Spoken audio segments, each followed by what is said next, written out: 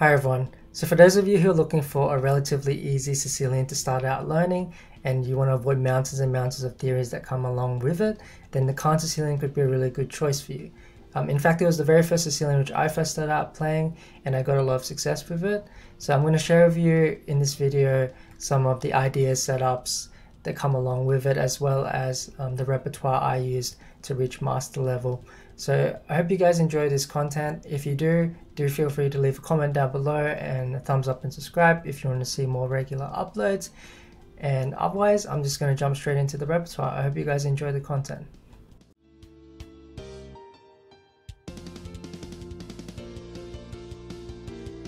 Now the Kan Sicilian starts out after the moves pawn to e4, c5, knight f3, pawn to e6, d4, starting the open Sicilian, we capture the pawn, white captures back, and black plays his move pawn to a6. And this is really the start of the Kan.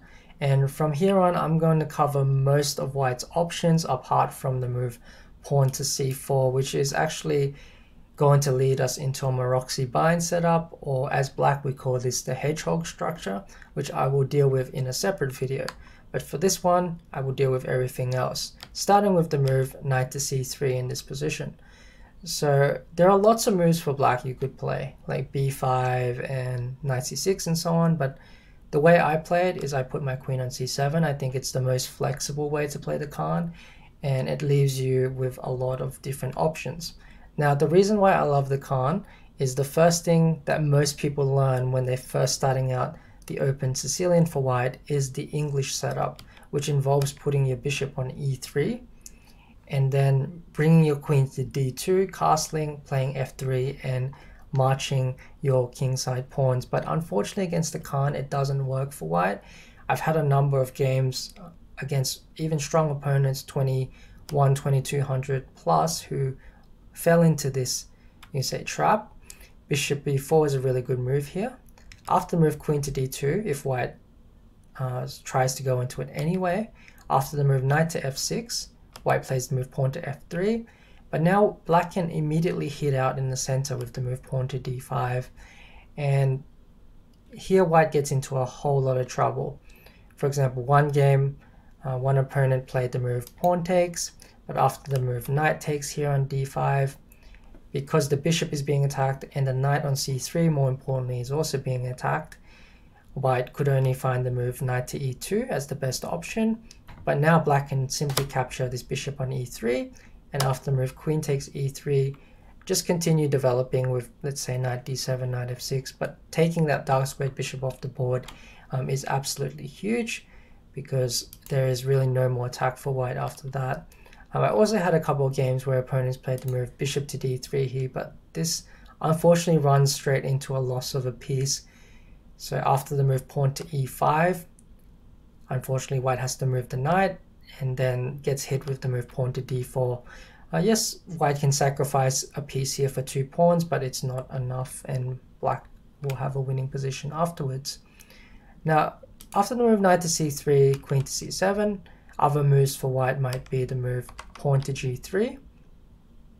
In, in this scenario, um, we still go the move bishop to b4. This is a really good option for black, forcing white to drop his knight back to e2 and then we can continue with the move knight to f6 let's say bishop to g2 uh, both sides can castle. And then most of the time we head towards a position where we put the bishop on e7 we play the move pawn to d6 to sort of defend central squares stopping e5 later on. And then we'll start developing our uh, knight and bishop on the queen side. So this is a very common way to develop your pieces. Knight to c6. Here we play the move pawn to d6, pawn to g4, and pawn to b5. So this is what we call a Scheveningen structure, where the pawns run e6 and d6. Black is attacking on the queen side here, white is attacking on the king side. It's fine with the king side attack. Usually you can defend this pretty comfortably as black. Here black can just drop the knight back if it gets chased to d7 and we'll maneuver the rook to e8. The bishop will sort of drop back to f8 and then we'll slowly sort of set up a fianchetto on the king side. But this is a very standard position and I think black is um, doing fine here. So other options here instead of that is the move bishop to e2, which is also very, very popular. Um, you can go straight into a Scheveningen type of structure straight away by going knight f6, d6 and try to transpose back. But I feel like we can avoid all that by playing the move pawn to b5 here. Castles bishop to b7.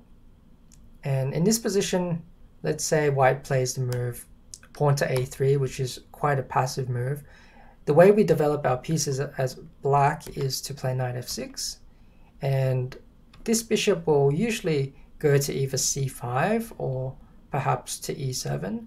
Um, generally, I'm going to suggest to move bishop to c5 whenever this knight is undefended, just to get a tempo on the knight. And then drop it back to e7 or a7. But most of the time, yeah, we're going for a setup like this, where the pawn will be on d6, bishop on e7. And this knight will either go to c6 or d7, castles, castles. And this is um, generally where uh, our pieces will end up most of the time in this opening. And I think it's a very harmonious way to develop your pieces in general. If we go back, let's say over here, so let's say white plays the move bishop to f3. We have other options as well, of course, so we don't have to go for this d6, knight to d7 type of setup. We can play for the move, uh, let's say knight to c6, we even have some options here. Sometimes we're playing bishop to d6 in the Kan, putting the bishop on e5. This is also a very interesting uh, type of idea. Here we're hitting the h2 pawn, so we get a tempo. But knight c6 or knight d7 are standard. Here if knight c6, let's say white captures it, you can just recapture back either with the pawn or with the bishop. Uh, generally, I prefer taking with the pawn. I quite like these structures where you take with the d pawn let's say queen e2, you could play bishop d6, you could play e5 in this position just to stop white from playing e5, or bishop d6 also stops e5. And black has a pretty comfortable position again. We can stick the bishop on e5 here and play, you know, c5, 97. And in general, it's, it's very comfortable for black. So instead of those particular moves, the main move in this position is definitely bishop to d3. Now after the move bishop to d3, I'm pretty much always going to suggest bishop to c5 whenever the knight on d4 is not defended. So after the move bishop to c5, white can defend it with the move bishop to e3 I suppose, but then uh, as black if your bishop is not being chased, you can probably just keep it on c5, develop with knight f6, play d6, knight d7 or knight c6, and continue from there. But generally, white will drop the knight back to chase it away. And then you can bring it back to e7. It's very important that you don't go to a7 in this position. It is, um, in fact, uh, a blunder. You can do it when the queen is on d8, but when the queen is not on d8, I think queen g4 is simply winning here for white or leads to a very big advantage. So you definitely have to get a move bishop e7 here. And then let's say after the move queen to g4 here, well black can simply play the move pawn to g6. So this is something we'll have a look at later, but it's um it's perfectly okay for black to do so. After the move castles, pawn to d6, pawn to f4, and in this position, again, um, you have to be a little bit careful in this exact position because you should play the move knight to d7 first. If you go knight to f6 here, I think e5 is a very, very strong sacrifice, which not many people know about. And if black captures the pawn, white recaptures, queen takes, bishop f4 is extremely annoying here. Actually, the line goes queen h5, bishop to e2, queen to g6, the queen has almost no squares to go to. Like it, it's pretty much all controlled along the fifth rank. So we really only have a couple of squares here, f5, g6, h5. And instead of repeating moves and accepting a draw, which we would in fact be very happy with here, uh, white can play a very strong move, pawn to h4, and I think white is actually winning here. For example, if we play the move pawn to h5 to stop at h5, then white can play the move bishop to g5, and now the threat of bishop to d3 actually trapping our queen is very, very strong and very hard to stop. So be very mindful of this and and try to um, play knight d7 first so then you prevent this whole e5 pawn sacrifice. So here generally white has two main setups. They go for ones where the queen's on f3 or the queen's on e2. So let's have a look at the queen on e2 first. Knight f6, bishop to d2. Let's say the move pawn to b5, which is the setup we're generally going for. Rook to e1. So white is playing for a quick e5 pawn break here. Now, the best plan I would say against this sort of idea from white is to play this move pawn to b4, which I've had in um, a number of games. After the move pawn to b4, one game I had it went knight to d1, and then here I castled with the idea that white is unable to capture this pawn because of the move queen to b6 check, picking up the bishop on b4. And also by kicking the knight away, we answer the move pawn to e5 with a square for our knight on d5. Whereas with the knight on c3, we're unable to use that d5 square because white will just capture it. Now in this position, knight f2 was played. And in the game I had, I went pawn to a5. Now generally in this setup, um, the idea is to trade off these light squared bishops because that's by far the most dangerous piece white has. So if we can sort of trade off these light squared bishops, then black is relatively happy. And we're going to do this by playing, you know, queen b6 or bishop a6 at some point. Maybe even a4, knight c5. So I had one game here which continued, I think, pawn to e5, and then I played knight to d5 here uh, with a complicated game, but uh, black is doing okay. So another game continued queen to f3, pawn to b5, bishop to e3, knight f6 again. Here e5 is well met by the move bishop to b7, attacking the queen. So a3, bishop to b7, let's say rook a to e1. And once you get into this type of position, generally you have two main plans. So one plan is going to involve being a little bit more aggressive and keeping the king in the center and that's to play the move pawn to h5 so this is not for every position by the way. Only certain positions this works quite well. Generally whenever you have the bishop on e3 it works quite well because the knight goes to g4 and attacks the bishop. So you win a tempo there. Or generally if the king is on h1 let's say the king goes here sometimes you can play the move pawn to h4 and try to undermine this diagonal. So for example, let's say white plays the move pawn to h3 to prevent you playing h3, otherwise black would push the pawn up the board. Then let's say you play the move knight h5, knight e2 to stop the knight jumping into the g3 square, and black would play a move such as f5 here to try and undermine this diagonal, and things get very, very complicated here. And I think black is doing okay though, um, but yeah, things get very, very messy. But it, if this is the type of position you're looking for, then h5 is the way to go. Um, sometimes you can also just put your knight on g4, and then you can even sometimes challenge white's um, pawn on f4 with the move pawn to g5 and try to uh, put a knight onto this e5 square. So this g5 move could be quite useful later on. But otherwise, yeah, your knight goes to g4. If it gets chased by h3, sometimes you can even just leave it there. Um, so it's, it's a very double-edged game. Uh, the other plan, of course, is the more, let's say, normal one, which is just to castle the king and look for pawn breaks in the center. So looking for a pawn to d5 or maybe a knight to c5 type of pawn break. Or if you're getting attacked with the move, let's say pawn to g4, sometimes you can also defend your king with say g6 and then maneuver your knight like this. And rook e8 the bishop can still maneuver back as well.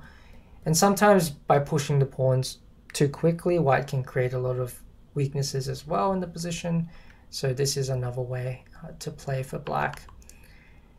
And of course you can also look for moves like d5 as well. Sort of hit out in the center. That's sort of the typical way to meet this type of attack with g4 Alright, so now we get into the mainline option by far, and that is the move bishop to d3 here on move 5, without knight c3 included. So in this position, black plays the move bishop to c5, again attacking the knight, the knight drops back. Now you do actually have two options in this position. I think bishop a7 is actually probably the more solid option, and objectively it's probably better than bishop to e7, but even still, um, I quite like the move bishop to e7, but definitely you should have bishop a7 um, in your repertoire. The main difference compared to the previous line I showed you is that since the queen is not on c7, uh, queen g4 is met by queen f6. But we're going to look at the move bishop to e7 mainly for this repertoire. And here, for example, if white castles, we can play the move pawn to d6. Again, we're going for the same setup. So for example, if white goes for something like c4 or doesn't go for c4, it doesn't make a huge difference. We'll still play in the same manner. And here we're going for the move pawn to b6. Again, with the same sort of plans. We have this hedgehog formation as black. And after the move king h1, again, we have two different plans in this position. One is to castle and one is to play the move pawn to h5. So I played pawn to h5 in this particular game, and after the move rook to e1, I played the move pawn to h4, and actually my opponent uh, blundered in this position. If he played h3, then knight h5 was the threat, and actually it's un unstoppable, the threat of knight to g3. Um, instead, my opponent made a serious mistake here with the move pawn to e5, um, expecting me to move the knight, but ran straight into pawn takes, pawn takes, and h3. And we see now the h pawn is incredibly strong here, opening this diagonal. Uh, and the game continued rook to f2. Uh, of course, he's unable to capture here on f6 because pawn takes g2, queen takes g2, and actually queen takes h2 would lead to a nice checkmate. So the game continued rook f2, but then after pawn takes, rook takes, um, now black is completely winning, of course. Uh, we don't have to take the rook straight away though, because the pin is extremely annoying.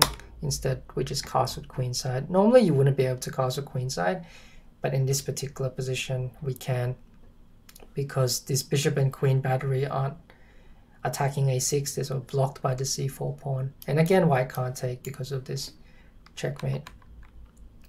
So white, um, yeah, so, so white is instead um, just in a lost position after castles.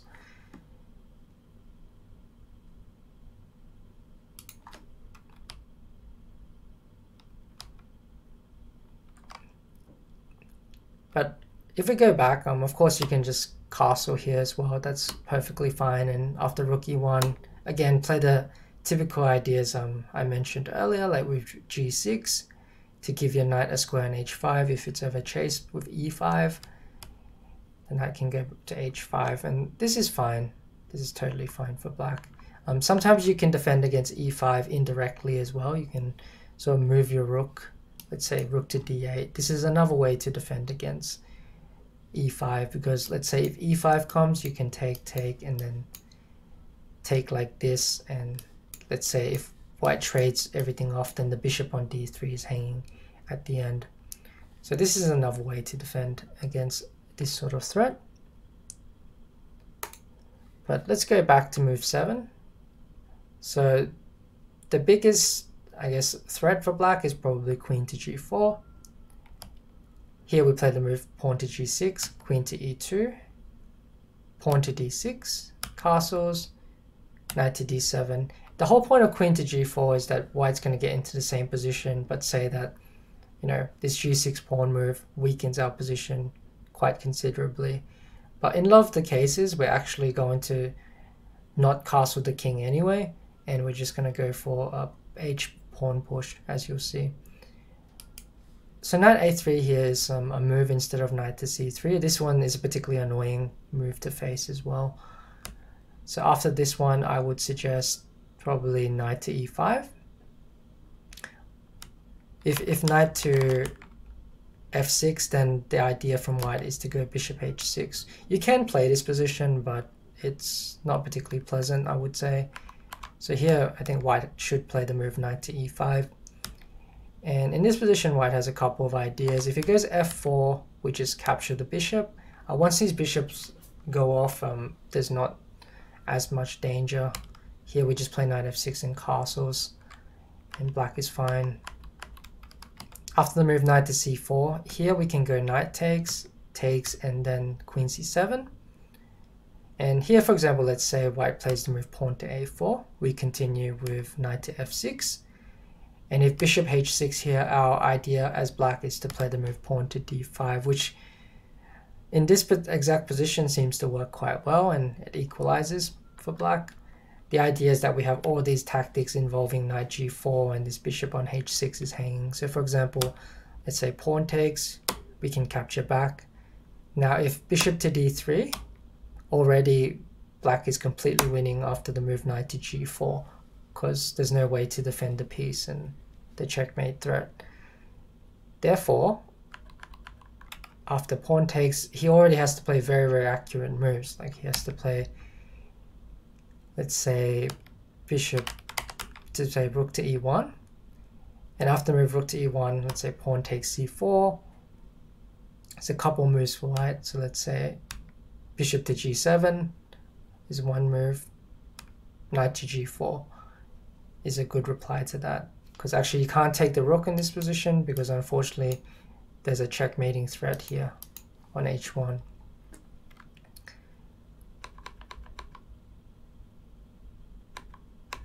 So you can't play bishop g7, so instead most people will try and move knight to d4. But here black is still okay. Say bishop to g4, pawn to f3, bishop to e6. Let's say captures, captures, captures, and the move rook to f8, a really good defensive move preparing rook to f7 and it looks bad at first but black is a piece up and most likely white will have to capture and go into this position where I think black is totally fine. So that is the move 10 knight to a3. So if instead of knight a3 white goes the move knight to c3 then we can play the move queen to c7 f4 knight to f6, bishop to d2, pawn to b5. We can also play, let's say, pawn to b6 at um, some point in the game. That's also fine if you don't like the move pawn to b5, because sometimes you can get hit with the move pawn to a4. So some people prefer putting the pawn on b6. But in this position, um, I'm going to recommend something very similar to what I showed you before. So whenever they're going for this sort of e5 idea, I'm just going to suggest move pawn to b4 and the knight drops back and black castles here to the king side. Again, you can't capture the pawn and black is threatening pawn to a5 and bishop a6 followed by queen b6 to trade off this dangerous light squared bishop after which black will be more or less fine. So that covers all the main lines in the Kan Sicilian. Um, in the next video, I'll probably show you what to do in the c4 Maroczy bind positions with the hedgehog setups for black and the ideas in uh, those lines. I think that's the one that's going to put a lot of players off from playing uh, the black side of this opening. But otherwise, um, I hope you guys enjoyed this video. If you have any comments or questions, do feel free to leave them in the comment section down below. Otherwise, I will catch you guys on the next one. Take care.